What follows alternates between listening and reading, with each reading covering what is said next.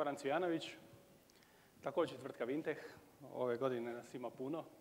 Oba djelatnika iz Vinteha su tu. Treći nije mogao doći, pa se ispričava. E, možda druge godine. E, ove godine mi je vrlo interesantno što je dosta tema vezano uz frameworke i razvoj aplikacija. Nije da nije bilo prošle godine, ali imam nekakav osjećaj zapravo da su framework sustavi, odnosno strukture se poprilično razvile. Vjerojatno tome doprinosi i sveća popularizacija mobilnih platformi i razvoja za mobilne platforme, tako da očekujem da će framework sustavi u open source biti sve moćniji i moćniji. Naravno da i veliki sustavi, odnosno enterprise sustavi o kojima ću ja malo danas govoriti, koriste open source frameworke u razvoju poslovnih sustava. Dakle, nešto od sadržaja, govorit ću o razvoju aplikacija za podršku poslovanju, znači govorit ću o enterprise poslovnim sustavima i kako u open source razvijati takve sustave.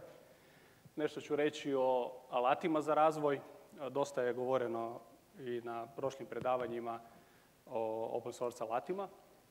Ja ću navesti neke za koje možda niste čuli. Onda ću preći na temu zapravo, to je Open Object platforma u kojoj mi radimo razvoj. Ispričat ću nešto o arhitekturi, komponentama sustava i o otvorenosti i mogućnosti povezivanja sa drugim e, platformama. Pa da krenemo zapravo e, što mi očekujemo od razvoja aplikacija. Kako bi mi htjeli razvijati aplikacije? Dobrica je danas pokazao kako bi mi to htjeli razvijati. One day, one application, prilike. Odnosno, htjeli bi nekakav rapid application development. U poslovnim sustavima zapravo hoćemo napraviti nekakvu funkcionalnost koja je namijenjena za podršku poslovanju. Podrška poslovanju danas znači svašta. Ako je poslovanje bazirano na internetu i hoćemo se integrirati sa Facebookom, onda razvijamo aplikaciju koja će raditi na Facebooku. Moj, moje područje i područje interesa Vinteha je zapravo razvijanje poslovnih aplikacija za, nazovimo to, klasičnije poslovanje. Naravno, očekujemo takvi sustava da budu uh, integrirani sa, sa današnjim modernim arhitekturama i platformama, uh, jer bez poslovanja na internetu danas praktički nema poslovanja. Uh, ono što hoćemo od takvih sustava je da imaju stabilnu jezgru sustava na kojem možemo razvijati dalje svoje module, po mogućnosti sa što manje bagova, da imaju modularnu arhitekturu, Zašto? Zato da možemo uh, na nekakav rapid application development uh, način, odnosno sa modernim Scrum i sličnim metodologijama, razviti nešto i brzo deployati. Po mogućnosti da možemo takav sustav brzo staviti u produkciju sa onom funkcionalnošću koju razvijemo u nekakvom sprintu ili nešto slično, danas do sutra, recimo videoteku, Dobricinu, i Eh, da onda možemo sutra napraviti nove module koji ćemo istestirati kvalitetno, koje će korisnik odobriti i staviti ga ponovo u produkciju na isti taj sustav kao novi modul. A prije toga da možemo istestirati eh, kroz nekakvo modeliranje procesa, eh, da ta interoperabilnost cijelog sustava ne bude narušena. Nadalje što hoćemo imati, hoćemo biti sigurni, odnosno da nam neko u današnjem internet svijetu ne provali u takav nekakav sustav i da e, naši podaci ne nastradaju. ovo sam već rekao da zapravo hoćemo modernu arhitekturu, e, hoćemo tu arhitekturu da bude nezavisna od platforme ako je moguće. E, znamo u kojem svijetu živimo, zajednica je naša ovakva kakva je, Linux servera ima dosta i dosta se koriste i za baze podataka i za aplikacijske sustave. Međutim, naravno, najraširenija je, nažalost, Microsoft platforma i na takvoj istoj platformi moramo moći deployati tako jedan razvijeni sustav. Sljedeća bitna stvar je servisni način rada. Znači mogućnost da platforma na kojoj razvijamo sustav je servisno orijentirana, što znači da je na lagani način možemo eksponirati prema nekakvim drugim sustavima i jednako tako da možemo i mi našu platformu i naše sustave integrirati sa postojećim sustavima koji, koji egzistiraju ili koji će doći. hoćemo imati naravno i klijente za razne uređaje. Tu se prvenstveno misli na, na mobile computing. ono što je bitno je dobra i podrška. Održavanje otvorenog sustava, mogućnost da možete doći do potrebnih informacija da bi, govorimo o open source-u, možemo pogledati kod, ali vrlo važno je i kvaliteta dokumentacije, veličina zajednice i sl. I za kraj sam ostavio mogućnost nadogradnje modula. Znači nešto što kada jednom stavite u produkciju možete na jedan relativno jednostavan i siguran način nadograditi, nadopuniti funkcionalno bez da narušite nekako postojeće stanje sustava. Što od alata koristiti? Čuli smo već prije, e, tokom ova dva dana, o dosta alata koji se koriste i frameworka. Pa naravno tu je uvijek prisutni Eclipse i Eclipse Foundation kao vrlo bitna komponenta u e, Enterprise uh, Java prvenstveno svijetu. Međutim, Eclipse uh, nije samo Java sustav, iako je napisan u Javi. Govorimo o IDE, IDE sustavu, međutim, vrlo bitno je što je to plugable arhitektura. Znači, postoji puno pluginova koje možemo iskoristiti za razvoj bilo čega. Vidjeli smo da kolege koriste to za razvoj mobilnih aplikacija. Ovdje su navedene neke komponente tipa Quantum DB, koji je jako zgodan sustav za da možete iz jednog integriranog environmenta pristupati strukturama i podacima u raznim bazama podataka. U ovom slučaju Quantum DB može tako, na sve što se može JDBC spojiti praktički može raditi sa, sa takvom bazom podataka. Subclips, Git, hoćemo versioning control, da, hoćemo. Tu sam izdvojio jednu platformu koju mi koristimo, to je Aptana. To je zapravo jedna tvrtka koju je u skoro vrijeme kupio, kupila firma Accelerator, koja se bavi razvojem mobilnih uređaja i tu je bio spominjan Titanium platforma koju oni imaju u svom sustavu. Oni su kupili tvrtku Aptana, odnosno merđali su se i sada je to jedna proširena platforma koja je bazirana na Eclipse-u. Zove se Aptana Studio on je zapravo zamišljen kao platforma za razvoj web aplikacija i pluginovi koji su već sadržani u njemu služe za, za razvoj web, web platformi i web sustava. Ono što je još interesantno to je da ista ta tvrtka je taj proizvod imala kao komercijalni proizvod i onda je prije nekih dvije ili tri godine su ga dali u open source. Nešto slično kao što je i prije spominjani Pentaho, isto tako zapravo nastao merđanje više tvrtki, neki od tih proizvoda su bili komercijalni i prešli su na open source i sada su open source produkti. PyDev je ove godine dobio Best Developer Tool, to je uh, Python uh, plugin za razvoj uh, aplikacije u Pythonu. Ono što je još zgodno je, svi ste vjerojatno čuli za DIA i vjerojatno dosta njih i koristi, on je također Eh, alat koji eh, ima eh, plugable arhitekturu, znači pišu se pluginovi za njega, služi se za, najčešće za modeliranje i za izradu prototipova. Prototiping se može raditi i kroz Eclipse pluginove, ima ih dosta i vrlo su zgodni. Community Eclipse Awards, to vam je zgodno, zgodno mjesto za pogledati, to Lasarić, nije, je. za pogledati što je od alata nagrađivano i koji su to zapravo alati koje možda niste vidjeli, a mogli bi vam biti korisni za razvoj ili za bilo što drugo. Open Object platforma. Radi se o platformi koja, pisao sam gore, znači Rapid Application Development platforma. Integralna, ima karakteristike osnovne njene su integrirana objektno relacijsko mapiranje podrška. MVC je klasična arhitektura sučelja, ima generatore izvještaja, ima podršku za više jezičnost, slično. Radi se o platformi koja je napisana u Pythonu i koja služi za razvoj aplikacija i sustava u Python jeziku. Python, koliko ima Python developera ili ljudi koji koriste Python? Tako, ne baš jako puno Java. Pa, čak ima više Python, dobro, drago mi, tu smo negdje. Python dinamički programski jezik, jednostavan za učenje, možete doslovno za vrlo kratko vrijeme savladati osnovnu sintaksu ako ste pisali u bilo kojem drugom programskom jeziku. U Pythonu je to stvarno vrlo jednostavno naučiti i raditi. Ima odličan skup e, biblioteka za razvoj, e, komunikaciju, koješta, integraciju sa drugim sustavima i zbog svoje dinamičke strukture, interpretera i tako dalje je vrlo pogodan za e, rapid application development i integracije. Znači, to su dvije komponente koje, koje čine ovu platformu i treća komponenta je Postgres kao PostgreSQL kao baza podataka. Ovako to nekako izgleda. E, dakle, imamo Postgre bazu u kojoj je zapravo e, kompletan repozitorij cijelog sustava.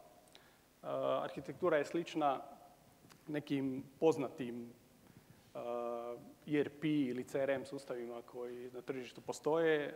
Dosta firmi se odlučilo na, na arhitekturu koja zapravo ima repozitorij meta podataka koji opisuju zapravo sustav. Tako i ovdje slučaj da se zapravo podaci o definiciji sustava, modelu sustava spremaju u bazi podataka. Znači postoji jedan interni model arhitekture sustava i opisa strukture aplikacije koja je spremljena u bazi podataka. Komponenta application server radi se zapravo o OpenRP platformi, znači na Open Object frameworku je razvijen poznati OpenRP sustav.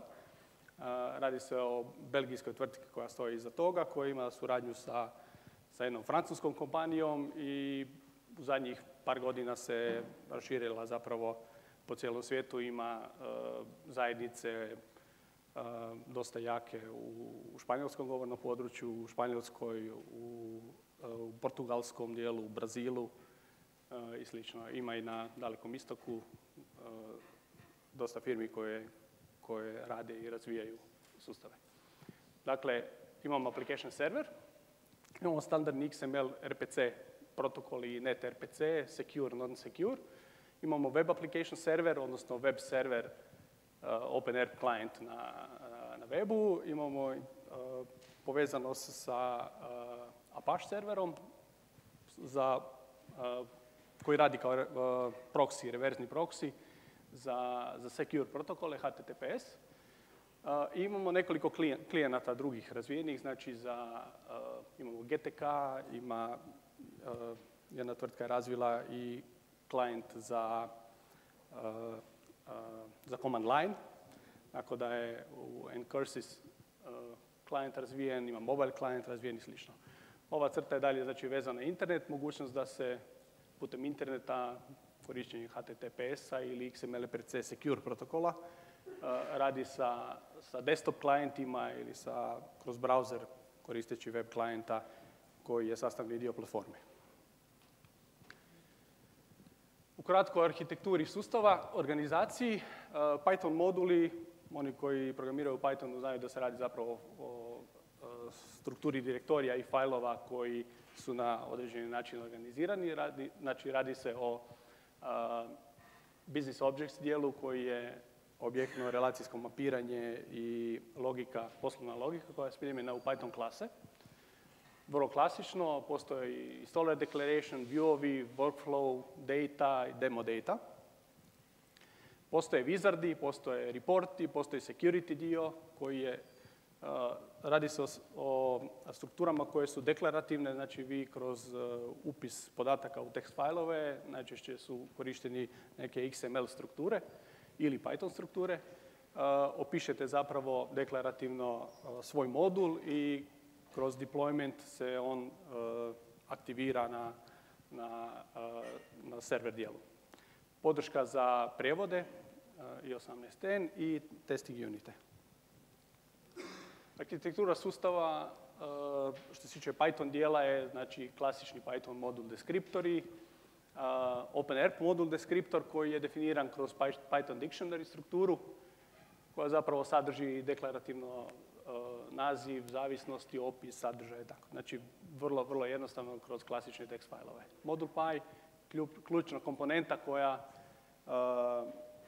omogućava definiranje poslovnih pravila i same strukture, objektno-relacijsko mapiranje. uglavnom se radi sa Python klasama i dictionary strukturama u, u Pythonu.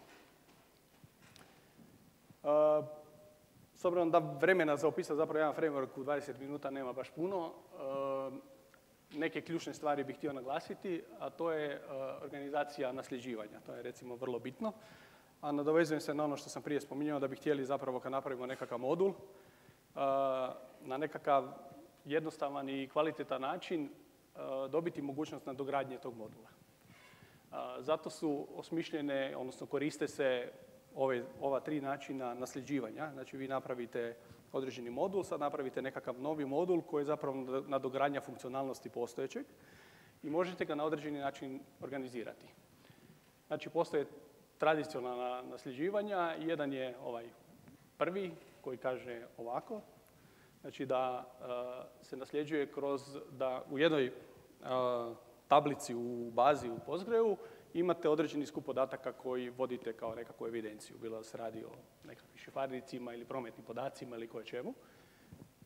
Uh, I kada nadogradite sa novim funkcionalnostima, novim modulima, treba će vam neki novi podaci. Te nove podaci će se čuvati u istoj tablici. Druga mogućnost je da uh, napravite uh, novu tablicu koju ćete, stara će imati evidencije koje vam trebaju, nova tablica će imati nove atribute koje vam trebaju.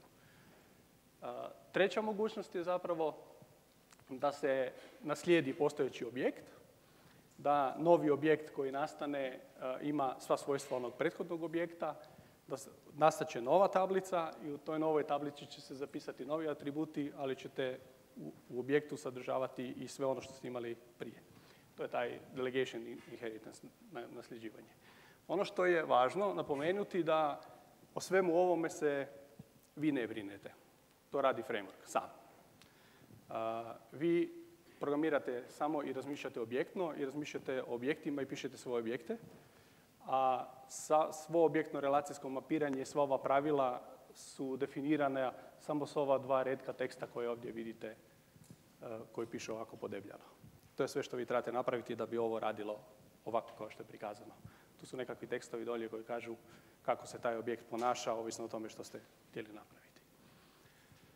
Uh, u objektno relacijskom mapiranju vrlo važno uh, je što mi zapravo možemo iskoristiti. Postoje više tipova podataka koji su podržani i više metoda koje su podržane u, kao poslovne metode ili kao programske metode koje želite koristiti. Jednostavni tipovi, njih svi znamo, karakter, integer, float, date, možda manje poznati selection, to je nekakav pobrojana lista u kojoj želite imati neku fiksnu listu iz koje želite nešto izabrati, i binary objekti i reference objekti. Relacijski tipovi, za one koji rade s relacijskim bazama, Postgre je takva baza, možete direktno deklarirati znači veze između pojedinih polja objekata na, na, u samom modelu, a kasnije i u, u prikazu tih podataka na raznim formama, izvještajima i sl. Znači postoje ove klasične many to one, one to many, many to many podrške. I funkcionalni tipovi, znači možete imati izvedene tipove koji su funkcije, koje rade nekakvo procesiranje online. Uh, related objekte, znači nekakve objekte koji su vezani s nekim drugim objektima, ali se koriste kroz objekt koji je vama tu uh, u domeni i property objekti. Više od toga možete, kompletna dokumentacija se nalazi na, na OpenObject, odnosno OpenERP sajtu. idemo dalje. Metode klasične, znači nekakav krud koji želite napraviti je automatski napravljen, a dodatno možete overrajdati bilo koji od ovih metoda i dodavati neke svoje funkcionalnosti. Komponente sustava viewovi, postoje meni, radi se o deklarativnim stvarima, XML definicije, deklaracija akcija, struktura, prava pristupa i sl. Viewovi su definirani kompletno izdvojeno, znači radi se isto o XML definicijama. Oni se smještaju u bazu podataka, kompletno se dinamički i mogu se direktno iz frameworka u nekom maintenance dijelu same aplikacije možete direktno online mijenjati kako će se nešto pristupati, ko će to imati pravo i sl. Ono što je na ovom frameworku jako zgodno je što postoje različiti pogledi na strukture objekata koje koristite. Vi možete nekakav skup podataka koji, koji imate u bazi prikazati na raznije načine. U poslovnim aplikacijama najčešće se koristile liste i forme. Znači imate nekakav multilist, pa onda nekakvu formu koja prikazuje nekakav skup podataka za data entry, i ta, ne znam, pretraživanje i slično. Međutim, ovdje su još dodane neke funkcije koje se vrlo česte u poslovnim aplikacijama, to je prikaz kroz kalendar, grafički prikazi kao grafovi i gantovi diagrami ili gantogrami kao način prikaza podataka. Ovako to izgleda u, u OpenRP-u. Znači, ovo je jedna, jedna forma iz web klijenta. vidite nekakav master detail strukture, menije i slično. dosta ovako zgodno ušminkado. Znači, kad napišete svoju komponentu, deployate, ona će izgledati otprilike ovako. Komponente sustava neke od ostalih stvari, znači reporting, korištenje više izvještajnih sustava, znači niste limitirani na jedan izvještajni sustav koji možete raditi, možete koristiti nešto što već znate. Report markup language, znači opet nekakav oblik XML-a. Možete koristiti OpenOffice kao alat za razvoj templeta za reporte. Klasični XML u Pythonu je dosta popularan Mako reporting engine, o, templating engine. Wizardi, Wizardi su Znači u klasičnim poslovnim aplikacijama najčešće imate nekakve forme, liste i slično koje čitaju podatke iz baze podataka i komuniciraju sa tom bazom, nekako dvosmjerno. Wizardi su isto to, ali je sve u memoriji. podrška za workflow security na raznim razinama objekata i record levelu. Ovako izgleda jedan prikaz kalendara. Znači, ako vam treba nekakav unutar poslovne aplikacije, organizacija kalendara, sastanaka ili bilo čega, ovdje je primjer, mislim da je meeting ili nešto tako. Slično je kao na Google kalendaru koji svi znaju koristiti. Otvorenost, znači kompletna aplikacija, cijela platforma je bazirana na XML RPC protokolu, server i sve komponente koje komuniciraju prema serveru gdje se nalazi sva poslovna logika i sve objektno relacijsko mapiranje i slično je se radi kroz taj protokol, tako da i sve ostale aplikacijski sustavi, vaši webovi i nešto slično, mogu koristiti isto to i na isti način komunicirati i koristiti istu logiku.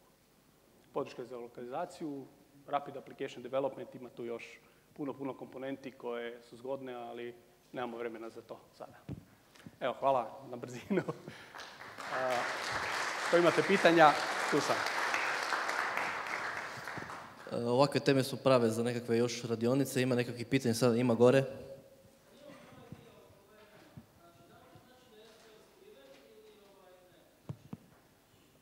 SQL je skriven.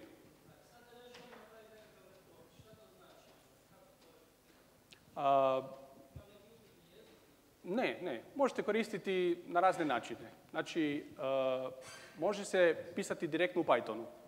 Može se koristiti Uh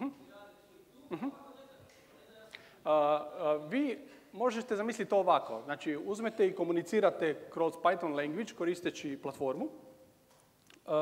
pitate objekt da vam da neki svoj atribut.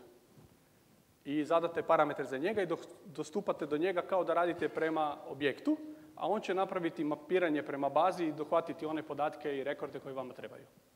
I tako radi reporting. Naravno, možete koristiti klasične reporting alate, kao što smo mi koristili u ovom predavanju prije i napadati direktno PostgreSQL. Struktura je poznata i vi točno znate koji objekt je u što mapiran i na koji način. Naravno, tu ima onda nekakvih stvari koje ne možete koristiti ako ne idete objektno. Ne možete koristiti funkcijske elemente u smislu gotovih e, funkcijskih e, elemenata ORM-a koji automatski u pozadini izračunavaju nekakvu, nekakvu vrijednost.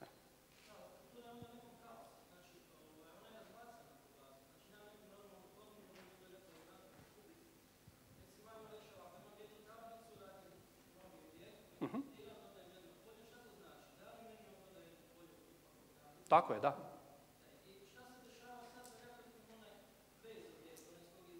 Mhm. Ne, objekt će biti stabilan. Vi uvijek kad radite kroz objekt, kroz objekt, vi nadopunjujete objekt. Imate nekakav objekt koji opisuje bilo što.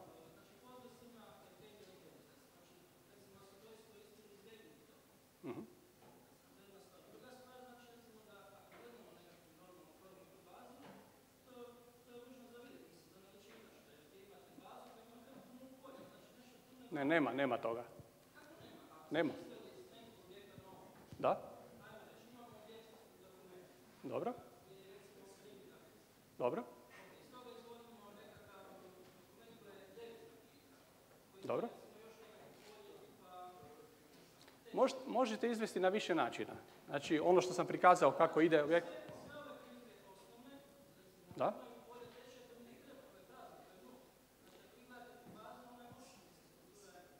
Što se tiče ispunjenosti baze, pa sve baze su šuplje, kad malo bolje pogledate.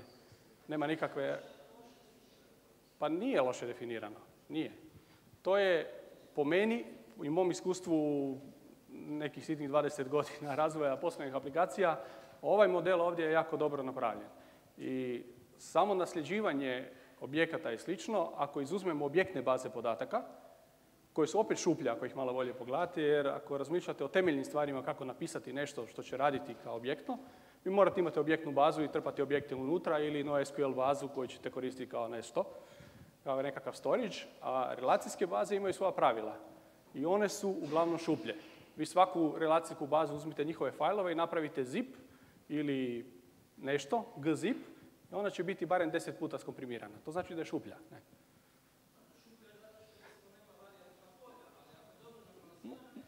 Hoće, bit će šuplja. E, možda već dolazimo u detalje, pa s obzirom da je pauza pred nama, da nastavite ove detalje u pauzi. Ja bih se zahvalio Goranu na predavanju. E, bilo je pitanja